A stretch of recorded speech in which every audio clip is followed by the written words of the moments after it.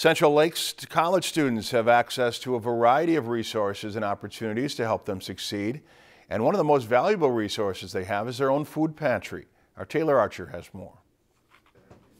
For a quick snack between classes or last minute grocery item, Central Lake students have access to their own food pantry available in the Student Life Center. It's called the food pantry, and any student can walk in and get food. And the food actually goes really fast. Um, we see an average of, I believe, 100 students a week um, in the food pantry. Tuition costs, fee costs, they're all going up. So that burden on students is higher than it's ever been. So this is kind of just one way where we feel like we're doing something to give back.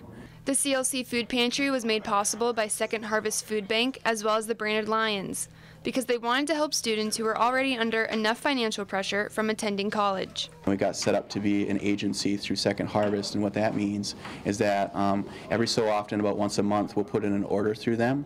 Um, we'll use the money that we got donated to us from the Lions group and from various other uh, service groups. Like today, for instance, I think we spent about $500, but we got three pallets of food, and it was about 2,500 pounds of food. Central Lakes is also trying to incorporate more healthy meal choices into their students' lives every day.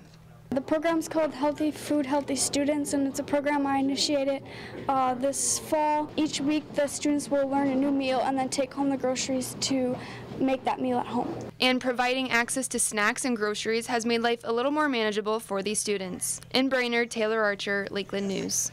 The Staples community also has a food pantry to help out their students in that area. If you've enjoyed this segment of Lakeland News, please consider making a tax-deductible contribution to Lakeland Public Television.